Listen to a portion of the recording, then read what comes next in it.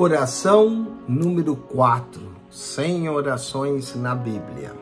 Se encontra também no livro de Gênesis a oração de Jacó pelos seus dois netos, filho de José, Manassés e Efraim.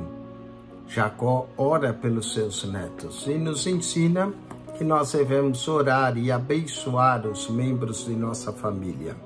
Gênesis capítulo 48, verso 15 e 16, diz assim: E abençoou a José e disse: O Deus em cuja presença andaram os meus pais, Abraão e Isaque, o Deus que me sustentou desde que eu nasci até esse dia, o anjo que me livrou de todo mal, abençoe esses rapazes e seja chamado neles o meu nome e o nome de meus pais Abraão e Isaque, e multiplique-se como peixes em multidão no meio da terra.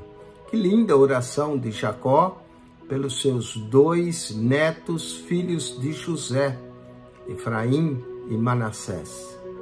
Como nós aqui aprendemos com ele, que devemos orar e abençoar a nossa descendência, os filhos de nossos filhos, a continuação de nossa geração. Linda oração feita por de Jacó para os seus dois netos.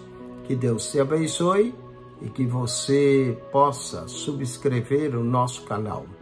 O canal da Bíblia PR Eugênio Piacentini.